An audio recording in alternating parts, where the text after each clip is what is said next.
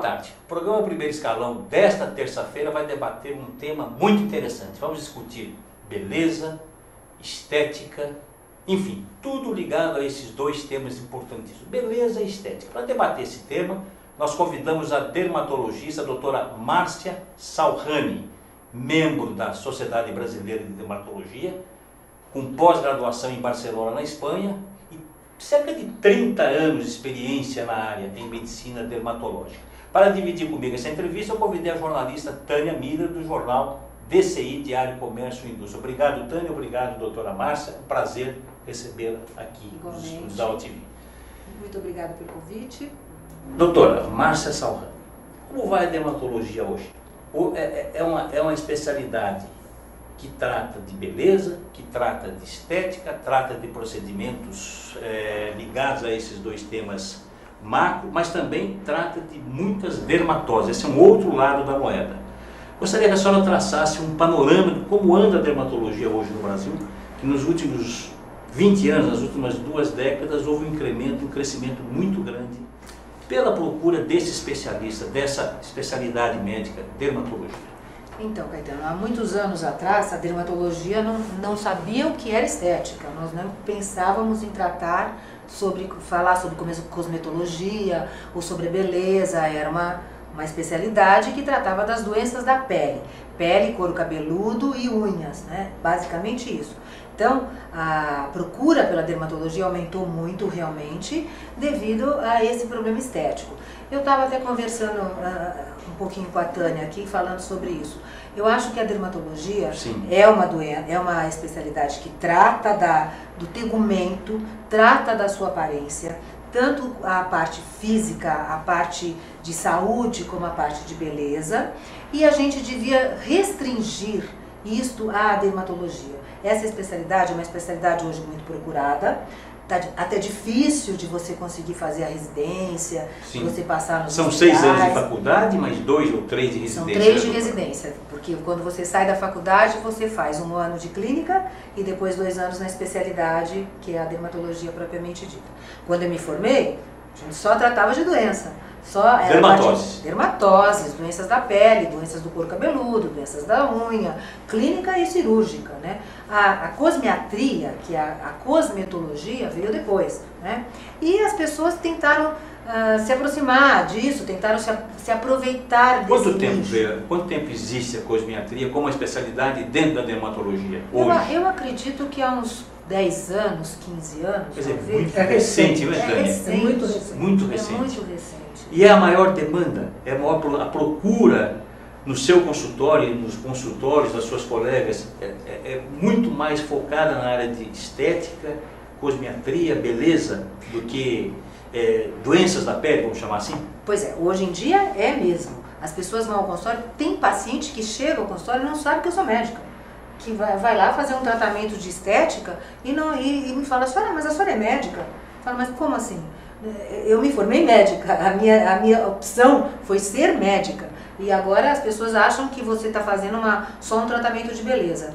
Eu, isso eu acho que a gente está, a Sociedade Brasileira de Dermatologia tem feito um trabalho, tem divulgado isto na mídia para que as pessoas saibam quem são os médicos, médicos que podem tratar da beleza. Não é? Que, na, a meu ver, e a, e a sociedade também concorda com isso, são os dermatologistas e os cirurgiões plásticos. Esses são os médicos recomendados a tratar da Que- beleza. Vocês são, são- trabalham com, com temáticas includentes, né? temas includentes, de uma certa maneira. Exatamente, as grandes cirurgias, é, as grandes cirurgias ficam para o cirurgião plástico, as pequenas cirurgias ficam para os dermatologistas. Tânia Miller. Doutora, é, muito nesse mês nós estamos falando muito do outubro rosa, é, que é o câncer de mama. Mas nós sabemos que uma grande incidência é o câncer de pele. E existe uma preocupação da sociedade como um todo de começar a divulgar isso, tanto para homem como para mulher.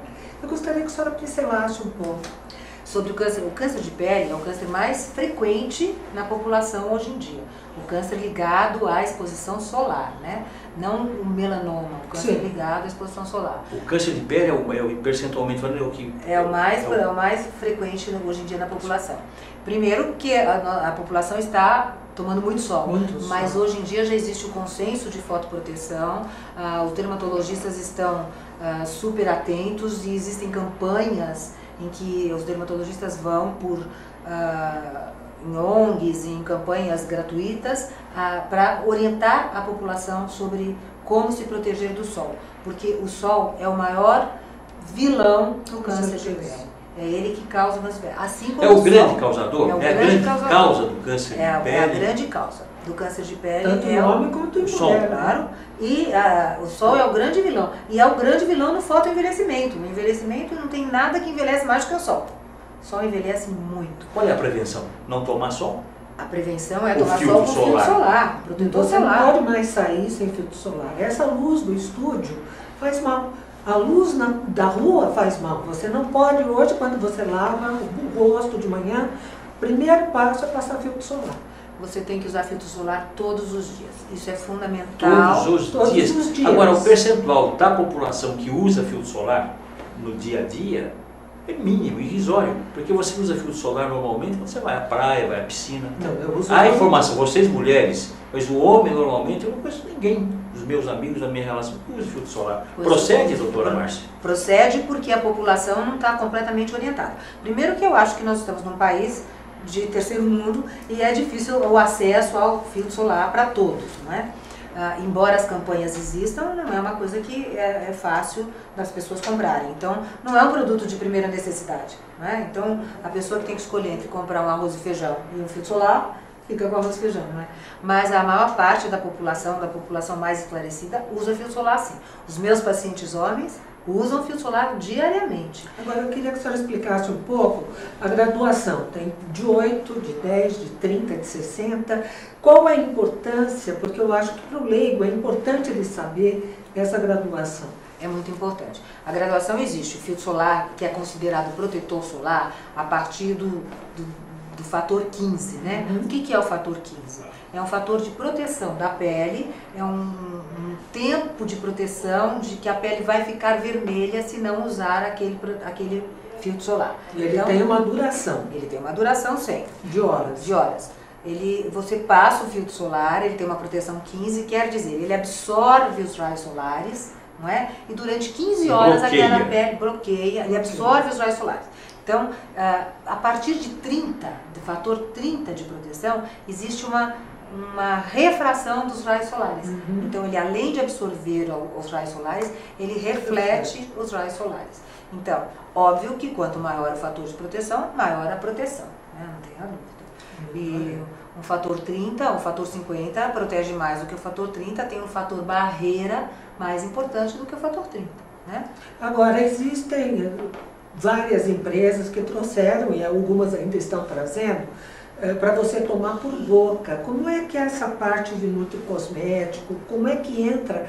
Eh, É concomitante? Como é que, que é o retorno disso para o paciente? Então, isso é bom a gente explicar. Ah, esse- esses protetores solares via oral, na realidade, eles não são um protetor solar.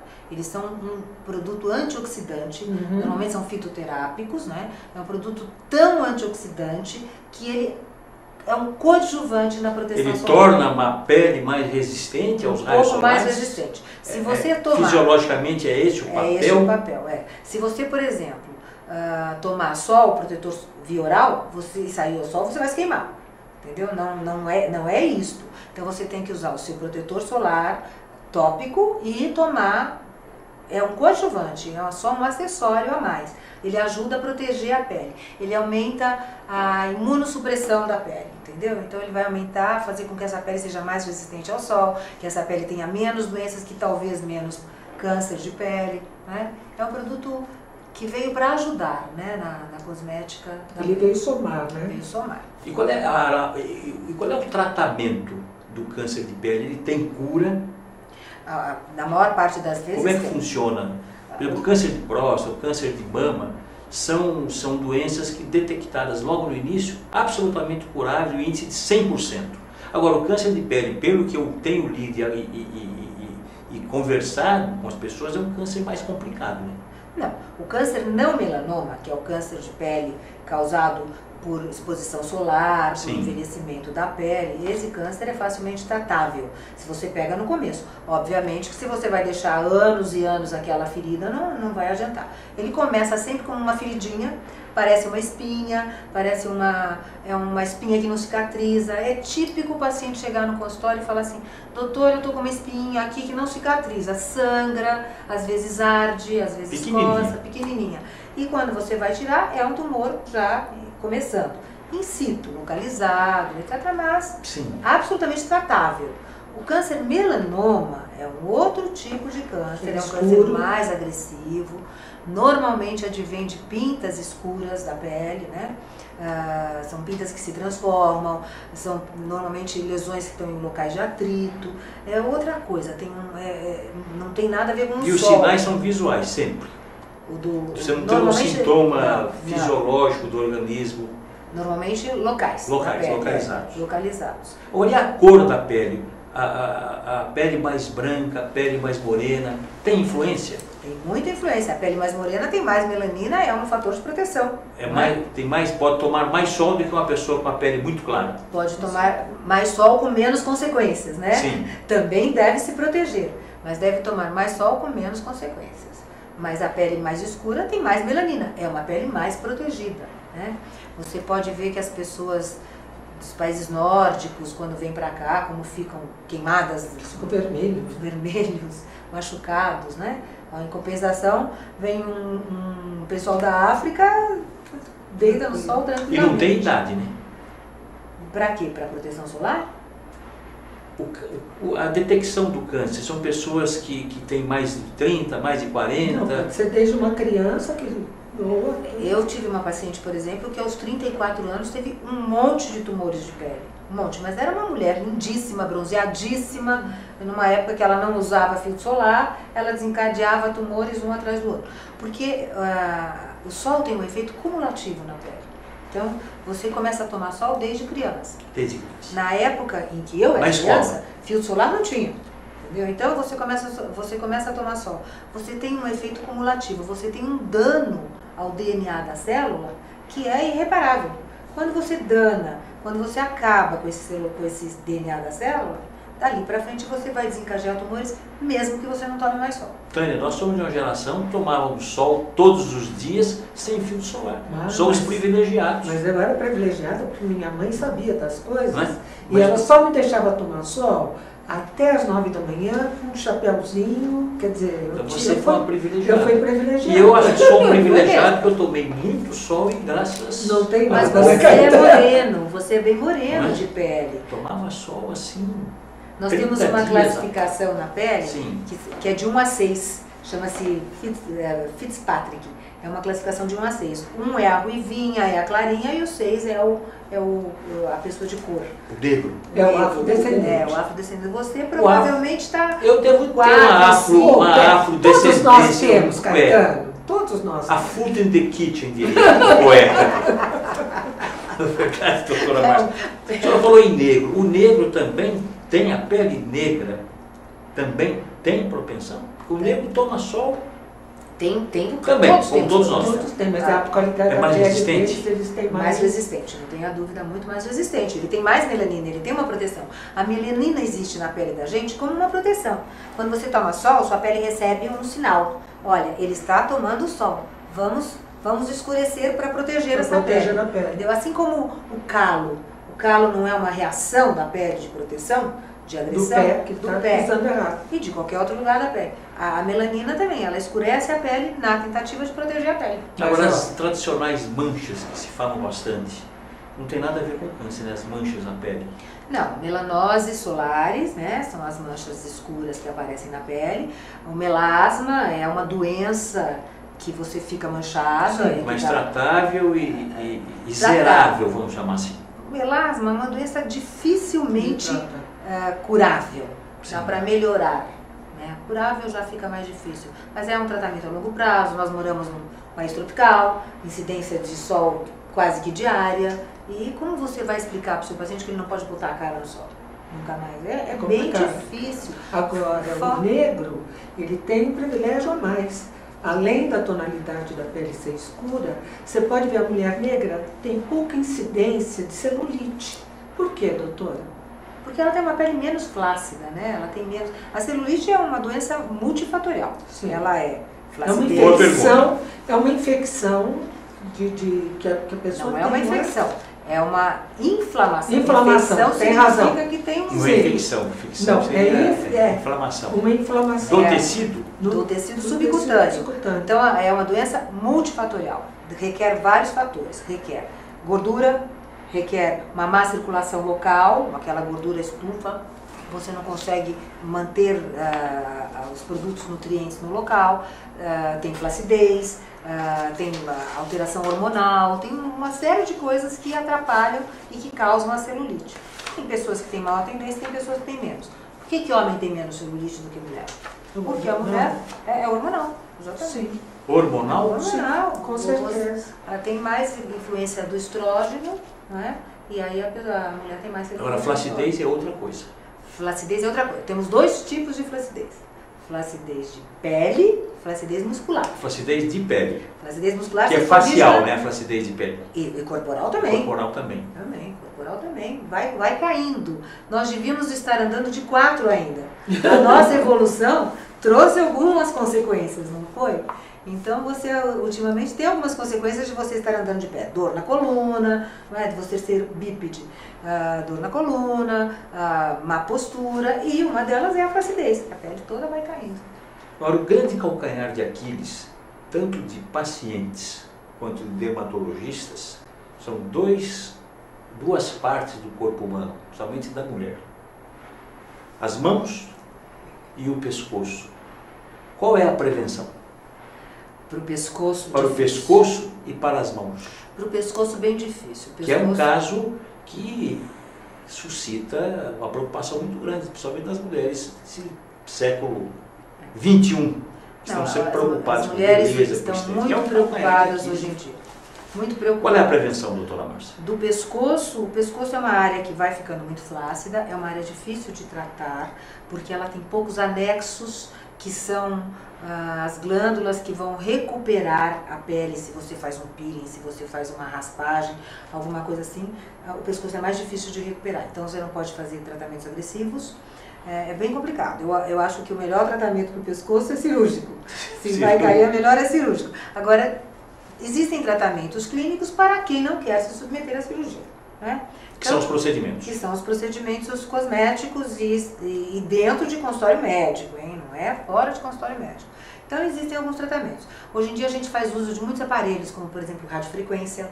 A radiofrequência é, uma, é um aquecimento volumétrico da derme para dar uma orientada nas fibras de colágeno, então pode melhorar essa flacidez.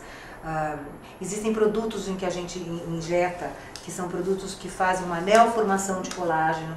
Então é um tratamento, é uma terapia, são várias aplicações em Sim. que você vai ter uma melhora desta flacidez de pele. A mão, você tem uma reabsorção de gordura ah, do tecido, ficam aqueles vasos aparecendo, aquela mão mais cadavérica, né?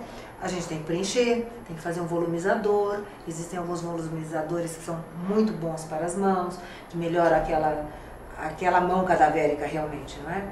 Os lasers hoje em dia têm um grande, uma grande utilidade para melhorar toda a qualidade de pele, melhora tônus, melhora a aparência da A partir pele. de que idade?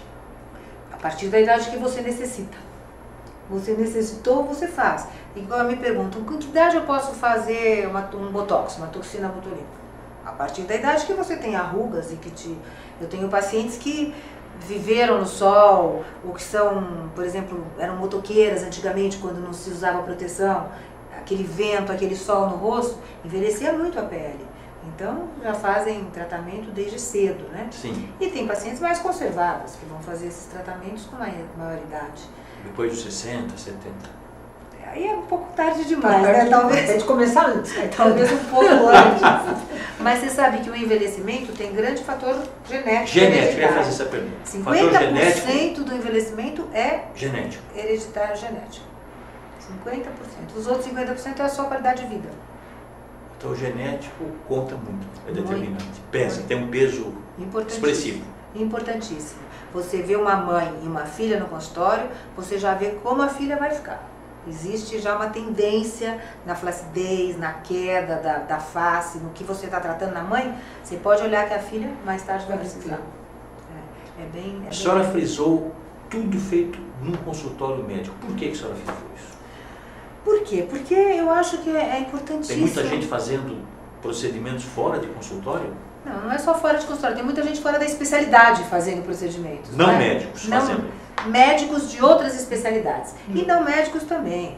Então, eu acho que a Sociedade de Dermatologia, assim como a Sociedade de Cirurgia Plástica, tem se esforçado muito em mostrar o que é procedimento do dermatologista. E, e tem posto na mídia para que a, a população saiba que isso, esse procedimento deve Sim. ser feito por um médico. Hoje em dia tem muitos especialistas fazendo esses tipos de procedimentos, esses procedimentos estéticos. Tem o cirurgião vascular que quer fazer, tem a- o ginecologista obstet- obstetra que quer fazer, tem o dentista que quer fazer, entendeu? Então tem várias especialidades. Então precisa botar ordem nesse. nesse... Pois é. Não é, Tânia? Com certeza. Eu acho muito importante que a população saiba ah, a quem se dirigir. Porque se as coisas derem errado, a culpa vai ser do procedimento, não é? Então são duas sociedades que precisam lutar para colocar em ordem esse. Basicamente a dermatologia. A dermatologia e depois a cirurgia plástica. Cirurgia plástica. A cirurgia plástica acho que está bem, tá bem explicado o que, que ela faz, não é? Porque é uma, uma especialidade cirúrgica. Mas é uma área que tem acontecido uma série de problemas aí. Você vê pessoas que fazem o tipo de cirurgia acabam tendo consequências graves que culminam até com a morte. É, aí é uma fatalidade, não é? Não, eu tenho, não for muitos casos recentemente. Você, tem, você vê na mídia muitos casos. É, Que eram por, feito por cirurgiões plásticos, mas que não tinham a especialidade para fazer. Isso é um absurdo, né? Eu acho que as pessoas têm que entrar, por exemplo, no, no Conselho Regional é, e ver quem tem título de especialista. É. Isso é fundamental, porque médico eu sou, da- o cirurgião plástico é, entendeu? Teoricamente, por, por lei, eu poderia fazer qualquer Então, coisa. a senhora tem o título de especialista dado pela Sociedade Brasileira Tem de título de Dermatologia. especialista registrado no Conselho. E isto é o que a população deveria ver. Então, tá o doutor fulano de tal, Doutora vamos Márcia lá. Vamos verificar. Vamos verificar, CRM, título de especialista, e aí a pessoa pode ir um pouco mais tranquila, né? Claro.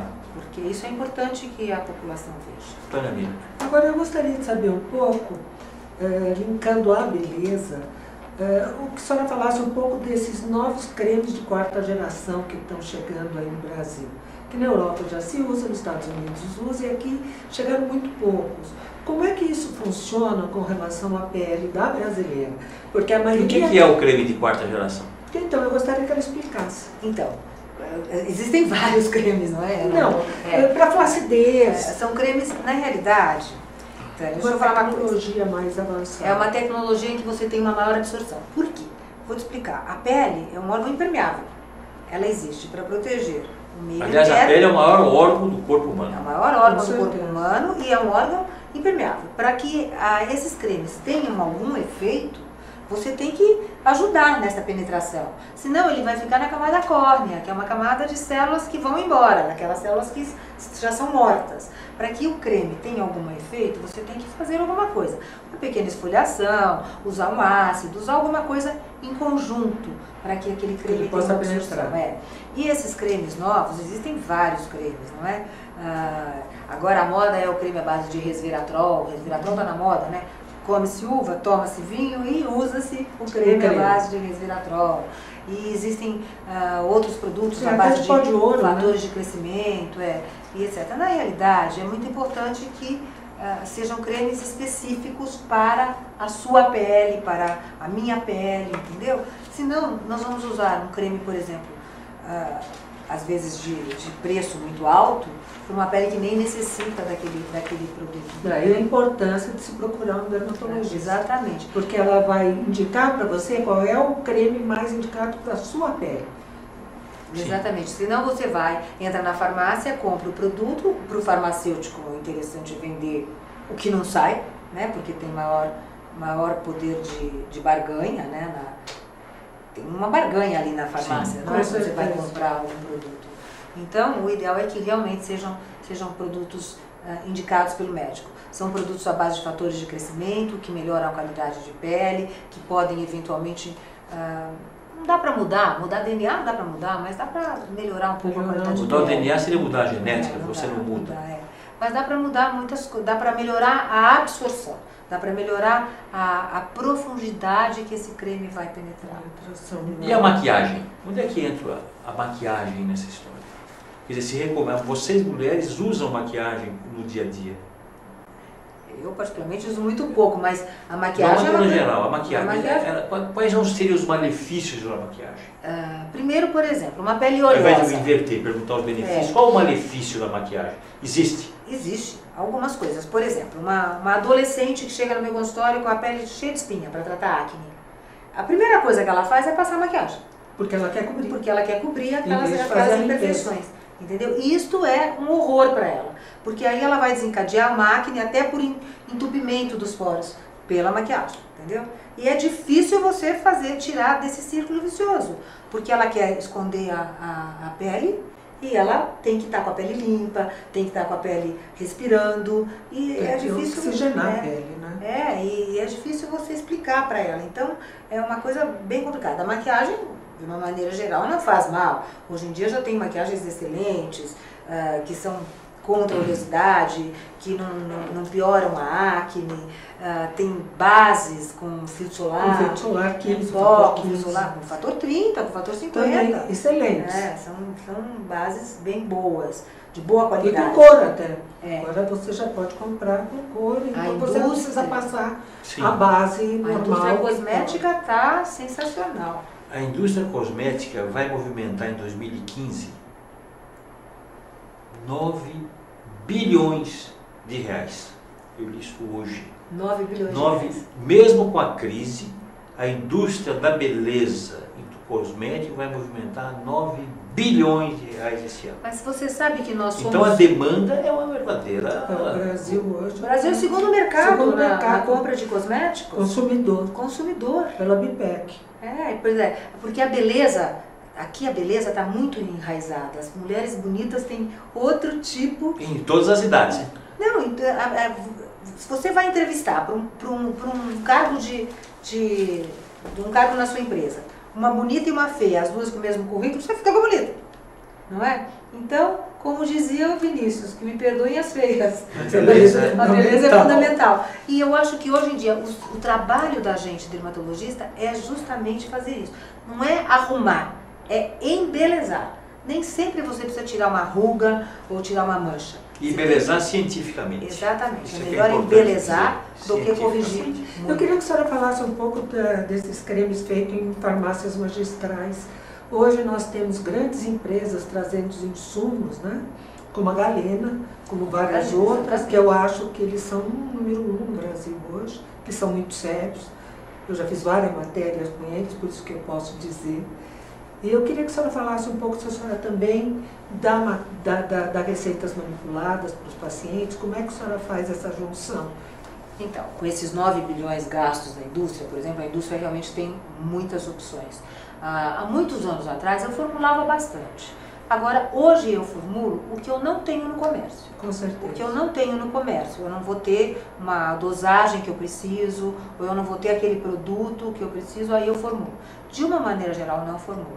Faço, procuro os produtos que já está pronto. Que Primeiro, que fica mais fácil para o paciente. Segundo, que são produtos testados, industrializados, com prazo de validade maior e que não dependem de uma, uma de uma mão humana, né, que está sujeita a erro. Não que os produtos sejam ruins, os produtos manipulados são bons, usei a vida toda, ainda uso eventualmente. Mas se eu puder optar, eu vou optar pelo pronto.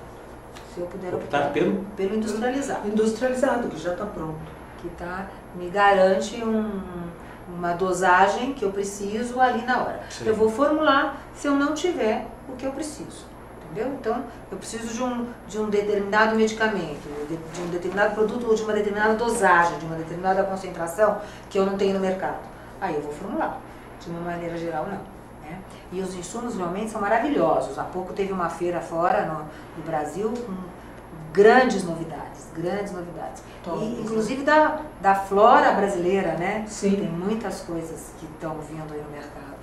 Coisa boa. É, vai. Eu queria que a senhora falasse um pouco, Caetano é homem, sobre esse metrosexual que está surgindo. Conversamos sobre isso, doutora Márcia, quando, quando é, é, um pouco antes do programa, Pois é. hoje há uma, uma incidência muito grande né, da procura De homens. por dermatologistas para- por homens. Sim. Pronto. Então, fora De a parte médica. Que são os né? mais é, é, pelo lado da beleza e da estética, não pela parte médica, mas lado, como a Tânia chamou, os metrosexuais. Sexuais. Os médicos sexuais tem muito homem vaidoso hoje.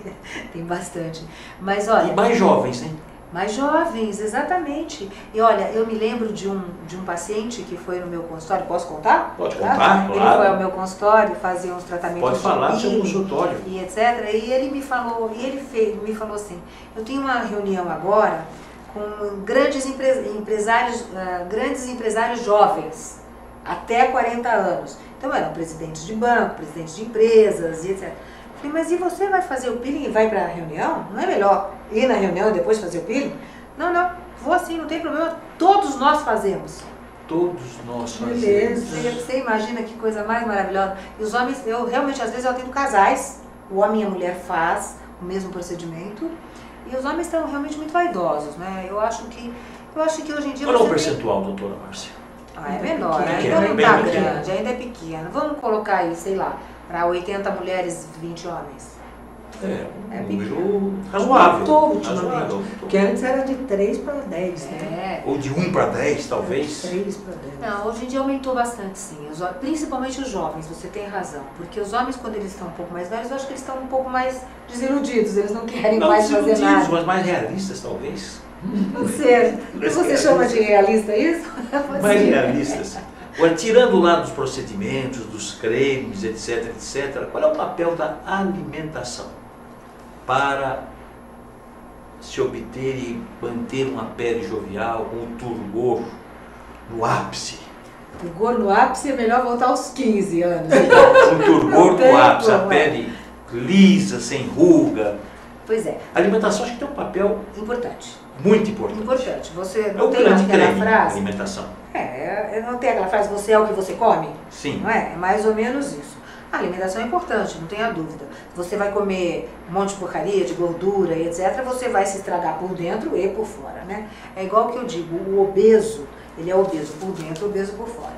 Então, se você comer coisas muito ruins, in- invariavelmente vai afetar a sua pele.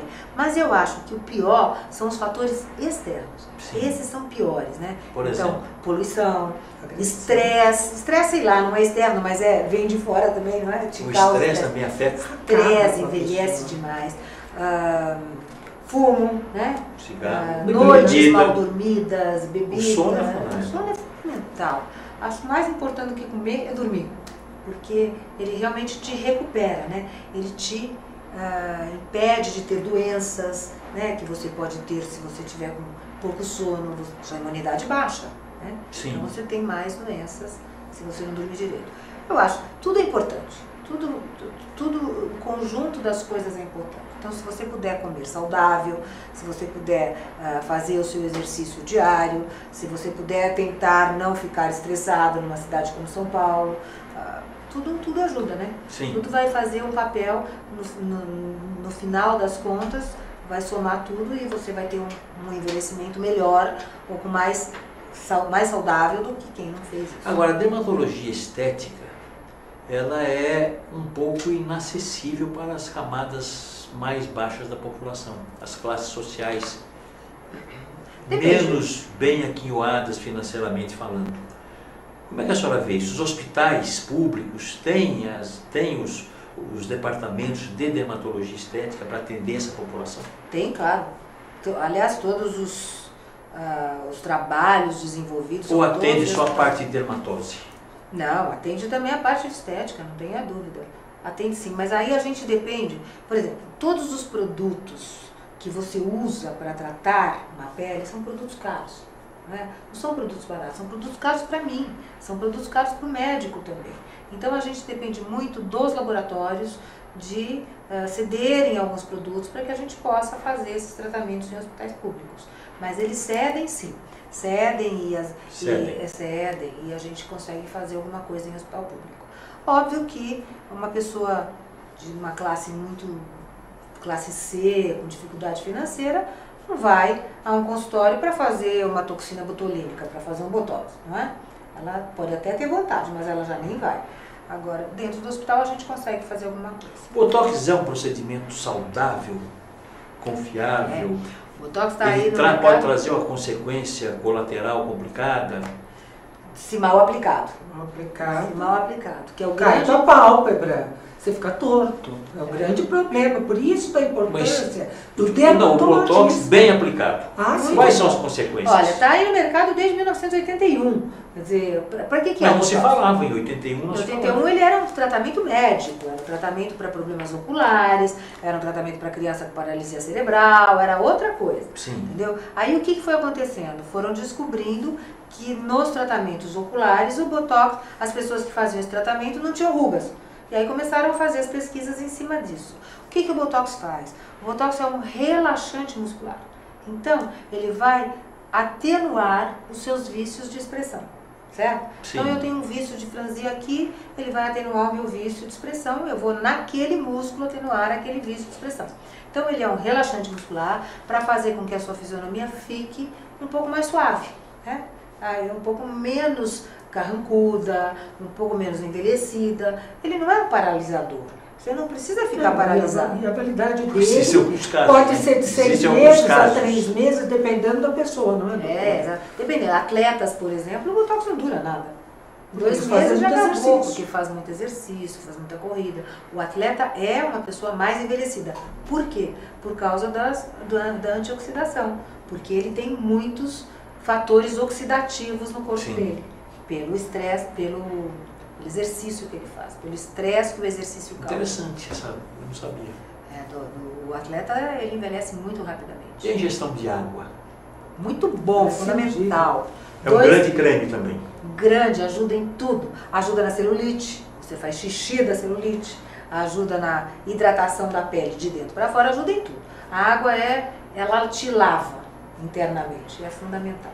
E acho que dois litros de água por dia todos nós deveríamos tomar. Até pouco, tem gente que toma mais. Tem gente que toma, toma mais. mais. Eu tomo dois. Dois a três. Eu também tomo dois e estou muito satisfeita. Estou satisfeita com os dois litros. Tânia, por favor. Eu, eu gostaria que a senhora falasse um pouco sobre o problema de cabelo. Porque cabelo e unha, é, é são dois segmentos. Assim, coisas, o dermatologista é, que também. o dermatologista cuida, cuida. né? E, e, também tem novos remédios que você toma por via oral e que às vezes funcionam. Eu queria que a senhora explicasse um pouco isso. Então, o cabelo... embelezamento do cabelo. O cabelo é, é uma doença mesmo, né? Não, e hoje, mas o problema é o seguinte, hoje em dia, com esses, com esses tratamentos todos que existem para alisar cabelo, escova definitiva, escova hidratação, acaba com o cabelo, acaba com o cabelo, a cor, pintar cabelo acaba. Pintar cabelo. Ah, então, tudo que agride o couro cabeludo atrapalha o fio de cabelo, né? Ah, existem quedas que são quedas fisiológicas, né? A gente tem até 100 fios por dia é considerado normal. Às vezes no puerpério, no pós-parto, existe uma queda um pouco maior, Sim. que é uma, um, um, fio de cabelo que aumentou durante a gravidez pelo banho hormonal. Saiu a criança, saiu o hormônio, o cabelo pode cair, é normal. Então existem algumas quedas que são fisiológicas e existem algumas quedas que são naturais do tempo. Existe o que a gente chama de eflúvio telógeno, que é uma, um, um ciclo do fio de cabelo. Então, o fio de cabelo, todo fio que a gente tem, desde o dia que a gente nasce até o dia que a gente morre, ele cresce, estaciona e cai. Uhum. Ele tem esse ciclo. Alguns crescem, alguns caem, existe um equilíbrio dinâmico. Então, se você altera esse equilíbrio, cai mais do que nasce, você vai ter as áreas calvas, né? Aí precisa de tratamento. Então, o ideal, ah, primeiro evitar todos os tratamentos que são químicos, químicos não é?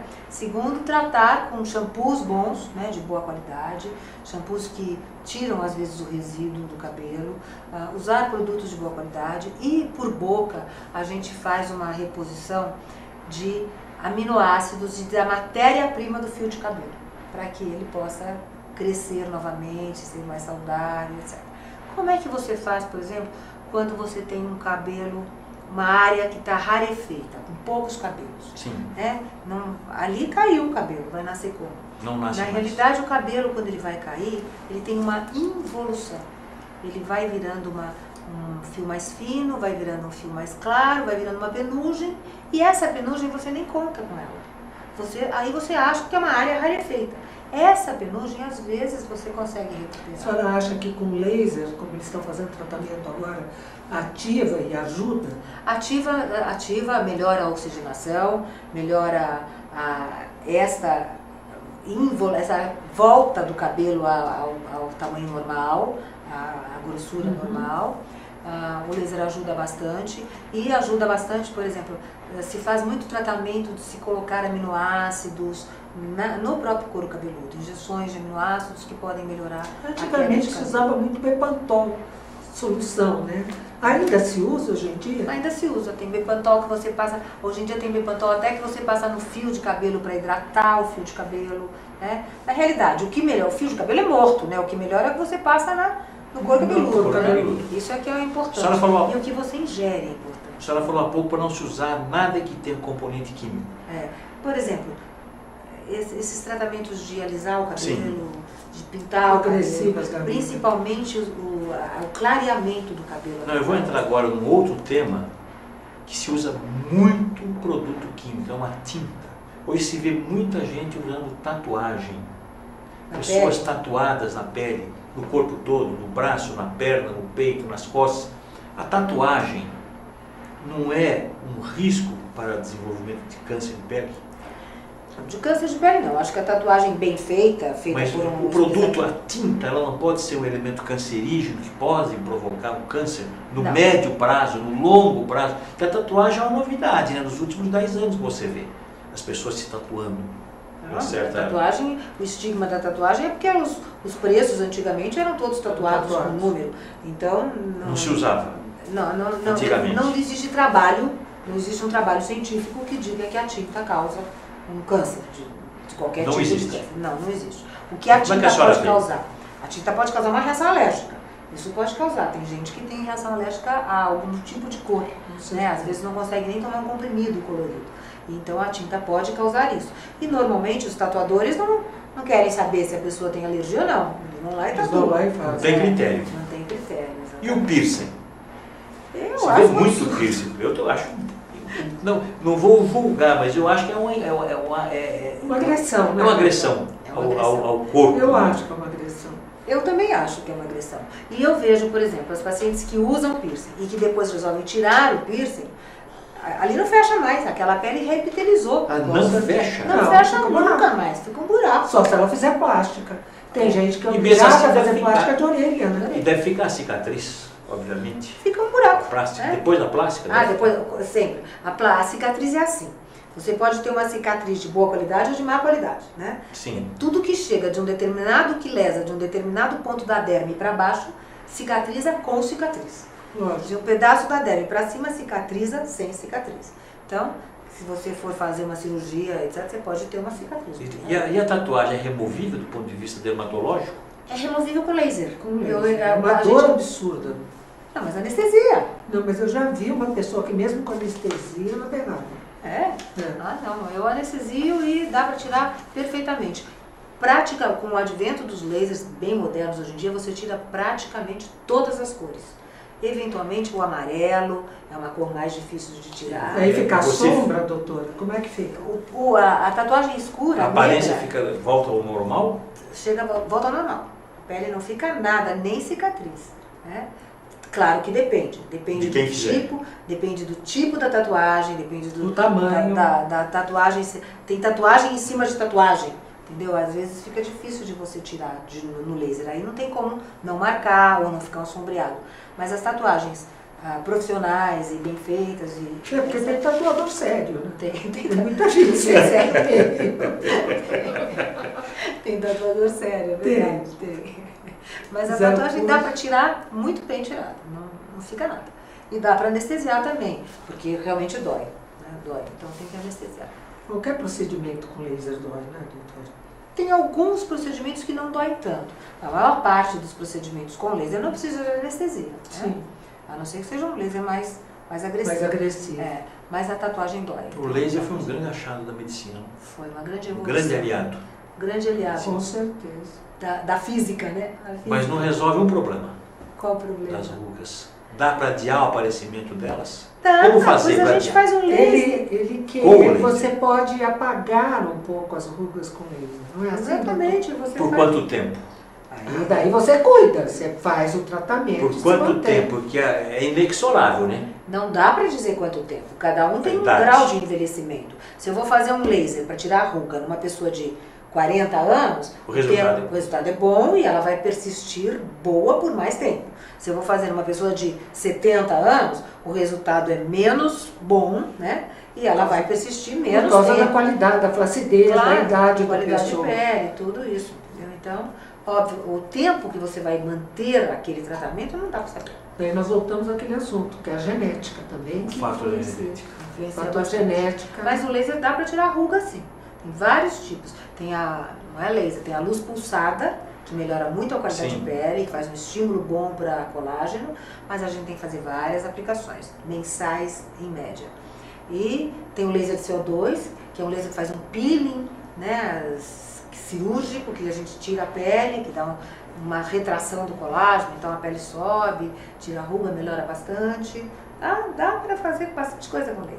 Qual é o perfil da sua paciente, do seu paciente, hoje, no seu consultório? Que tipo de perfil? Perfil. idade? Idade, o, o, o, o, que que leva esse paciente a lhe procurar no dia a dia? Bom, como você disse, mais de 30 anos no mercado. É, ma- é bem fácil, Sim, mas- fica mais fácil. Normalmente é a mulher. Que ele resolveu o quê? No- bom, na parte estética, normalmente mulher de 40 a 60 anos para Mulheres. mulheres, para embelezamento. E eu tenho bastante paciente com acne. Eu gosto muito de tratar adolescentes, Adolescentes. com acne. Então, é, é, foram coisas que foram acontecendo é, independente da vontade. Assim, eu tratei uma, foi bem, ela falou para outra, para outra, eu falei, então, eu tenho muito paciente com acne, eu gosto muito de De tratar grande adolescente incidência? acne. De acne? Acne? No meu consultório ou na adolescente, população? na população Na adolescente. população é altíssima. Mais mulher, Não, Mais não, homem. mais homem. Mais Doutor, eu queria O acne é espinha, doutora É Márcia, é espinha. espinha. É, que é profunda. Eu Ah, queria que a senhora falasse da importância do tratamento com a dermatologista, concomitante com a limpeza de pele para o menino também. Porque eu acho que, que em vez- ao invés dele cutucar, se fazendo extração por mecanismo, não é melhor, doutor? É melhor, mas também depende. Se ele tiver uma acne extremamente inflamatória, extremamente infecciosa, ela vai marcar, independente de qualquer coisa. Mesmo, não, mesmo ele não mexendo, mesmo fazendo a extração em consultório. Ah, ah, o menino tem mais acne, é o fator hormonal né, Sim. maior, então ele tem um pouco mais, a incidência no homem, no adolescente homem é maior do que na mulher. É importantíssimo tratar. Primeiro que é uma fase em que a pessoa, em que o adolescente está inseguro. Ele tem uma autoestima muito baixa, ele precisa tratar, ele precisa se sentir bem. Ah, segundo, ele tem que tratar para evitar cicatrizes e manchas que no futuro Futuro. virão com certeza, dependendo do, também do grau da acne, não é? Se ele tiver só comedões, os cravinhos pequenininhos, é fácil de você tirar, é fácil de você fazer a extração. Se ele tiver uma acne infecciosa, é, inflamatória, grande, é, é- é muito mais difícil de tratar. Ele precisa tomar antibiótico, precisa tomar Sim, outros medicamentos, é. Então já fica mais Eu difícil. queria que a senhora falasse também da importância da limpeza diária da pele. Pós-maquiagem ou independente? Independente, eu acho que a pessoa tem de levantar, lavar o rosto e depois ela tem uma série de, de cuidados. E à Ótimo. noite, o que, que ela tem que fazer para poder. Boa pergunta. Muito boa mesmo, porque isso é fundamental. Limpeza da pele. Primeiro levantar e lavar o rosto é fundamental. Tem que lavar é água, sabão, sabonete. Pode ser o melhor sabonete, o mais bem indicado. Ah, existem sabonetes para pele oleosa, sabonetes para pele acneica, sabonetes para tipo pele. De seca. Exatamente. Então, você pode indicar o sabonete, a pessoa lava, enxuga, porque senão nada penetra na pele se Com não tiver certeza. com a pele seca e limpa. A pele tem que estar limpa. Daí, você de manhã, é fundamental o fio solar. Com certeza. Não tenha dúvida, existe fio solar, fator 15 a 99 100. Entendeu? Existem filtros Toma solares. café da manhã com filtro solar. Filtros solares. Já. Existem Você protetores. escova o dente e já passa filtro solar. É, mesmo. Existem protetores até com Ótimo. outras coisas, antioxidantes, Sim. anti-envelhecimento, hidratante, é, anticlareadores. Para todos os bolsos, pra- como eu falo. É, para todo gosto e para todo bolso. Depois, durante o dia, às vezes você repõe esse filtro solar. Né? Se você vai sair na hora do Sim. almoço, vai se expor, etc. Depende se você vai nadar, se você não vai. Claro. E à noite, você tem que tirar a maquiagem. É demaquilante, não é? Demaquilante às vezes para os olhos. Tirar o filtro solar. Ah, Ele sai automaticamente. tirar, eh, lavar o rosto depois disso, secar a pele. Eu, particularmente, não receito tônicos. Acho que tem Recebe um poucos. pouco, é, né? E dormir com a pele lavada? fundamental dormir com a pele limpa. Limpa. Nunca durma maquiada. Nunca durma E as meninas resto. hoje em dia dormem com a pele suja, que é uma coisa complicada. Mas isso é uma coisa que eu acho que já está meio que. As mães podem ajudar também, né? Com Porque as mães certeza. sabem da, do, ma- do malefício de dormir com uma pele ah, suja, Suja, uma pele Eu cometo um erro clássico, então. Você não lava o rosto. Lavo, mas eu costumo, por comodidade talvez, eu faço a barba antes de dormir. Todos antes de dormir. E após fazer, eu passo um creme. E vou dormir com aquele creme. Mas o creme, se for um Então creme não bom, durmo não com a pele limpa. Não, Isso não, mas faço. o creme pode ser usado. Principalmente uma mulher de mais idade vai Tem usar. creme noturno, que Claro. você passa Mas o meu creme é aquele creme Nivea tradicional, creme nada Nutritivos. sofisticado, comum, simples. É, você Simples. pode usar nutritivos. Isso me lembrou um caso muitos anos atrás. Nossa, meu Deus, o que aconteceu no meu consultório? Uma paciente que chegou no meu consultório há muitos anos, muitos anos mesmo, acho que uns Sim. 30 anos. Quando a senhora começou. E ela chegou no consultório e falou pra mim que ela só tinha falta de ar quando ela deitava. E que ela tinha falta de ar quando deitava. E eu disse, mas por que você tem falta de ar? Você está com uma crise alérgica. Psicológico. tiramos o tapete do quarto, cortina do Tudo. quarto, não tá fazendo pintura no quarto, não tem nada, tiramos tudo do quarto, tudo. Não, eu deito e eu tenho falta de ar. Bom, conclusão. O problema dela era o marido, né? Então, não, não supõe-se que seja o marido. Porque toda vez que ela dormia, é, que ela deitava, ela tinha falta de ar. E aí, afastamos o marido do quarto. Ela num quarto, o marido no outro. Acabou o problema. Casamento indo mal, né? Porque cada um de um lado. Passado muitos anos, e eu não não consegui entender a falta de ar, mandei para o alergista, mandei para o pneumologista, e ela só não tinha falta de ar longe do marido. Perto do marido, falta, Falta de de ar. ar. Descobrimos depois de muitos anos, quando o marido foi ao consultório, exatamente isso que ele falou. Ele fazia a barba de noite para ganhar o tempo. E ela tinha alergia, Alergia à loção pós-barba. Nossa! A lavanda. Foi um drama. Olha. Demorou 10 anos para descobrir esse problema dela. Então, Caso, fazer, um case, barba, um case. fazer barba de noite tem seus problemas. A senhora tem site, o seu consultório? Tenho. Qual é o site? www.clinicadermatológica www. so- Fala bem devagarinho. clinicadermatológica.com.br www.clinicadermatologica.com.br Lá tem todas as informações. Todas as Quem informações. quiser conhecer o trabalho da doutora Márcia Salrani tem essas informações, os horários, o atendimento, as especialidades. Tudo lá, tá tudo lá escritinho. Repetindo, doutora Márcia. www.clinicadermatológica.com.br Perfeito. Eu queria agradecer a sua participação, Tânia, Eu a que sua, a agradeço sua pelo convite. Presença. Doutora Márcia, muito, Muito obrigada obrigada. pela entrevista. Infelizmente, o nosso tempo está esgotando. Temos que encerrar. Agradeço mais uma vez e não faltarão outras oportunidades para voltarmos a convidá-la e falar sobre beleza, sobre estética, sobre dermatologia em geral. O primeiro escalão volta na próxima terça-feira. Até lá, muito obrigado. Thank you.